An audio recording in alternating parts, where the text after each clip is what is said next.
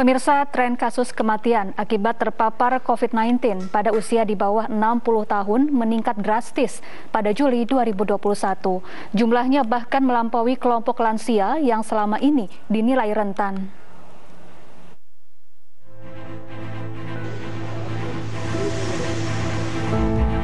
Satuan Tugas Penanganan COVID-19 membeberkan angka kematian akibat terpapar COVID-19 untuk usia di bawah 60 tahun yang meningkat tajam sepanjang Juli 2021.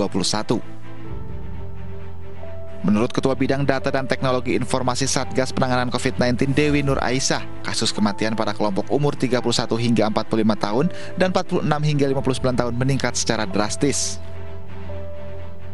kematian kenaikan kematian tertinggi bulan Juni versus bulan Juli gitu ya justru terjadi bukan di usia di atas 60 tahun Oh. Tapi terjadinya justru pada kelompok usia 46 sampai 59 yang awalnya 2.500 naik jadi 13.000. Jadi sekitar lima kali lipat kita lihat angka kematiannya. Wow. Yang kedua, distribusi usia 31 sampai 45 tahun yang awalnya hanya 964 jadi 5.159, lebih lima kali lipat lebih tinggi dibandingkan di bulan Juni.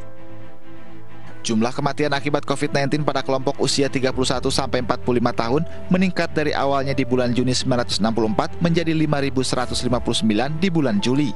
Sementara di kelompok 46 sampai 59 tahun meningkat jadi 13.694 pada bulan Juli dibanding bulan Juni yang sebesar 2.547. Sementara untuk usia 60 tahun ke atas di bulan Juni sebanyak 4.046 meningkat jadi 14.449 di bulan Juli.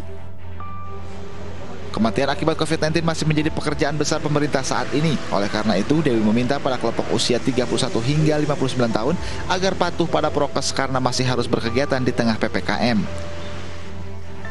Tim Liputan iNews melaporkan.